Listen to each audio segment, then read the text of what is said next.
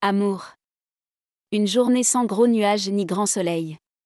Les perturbations astrales pourront provoquer une certaine lassitude si vous vivez en couple. Votre conjoint se montrera exigeant, et vous n'aurez pas envie de faire des concessions.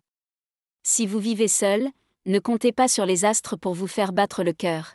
Il y aura vraiment très peu de chances pour que vous croisiez l'amour fou aujourd'hui. Aujourd'hui. Aujourd'hui. Aujourd'hui. Aujourd'hui. Aujourd'hui. Aujourd'hui. Argent. Attention. Vous aurez une nette tendance à vivre bien au-dessus de vos moyens. Travail.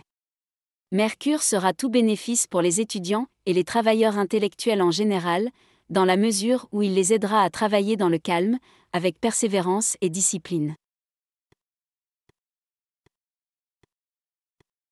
Famille.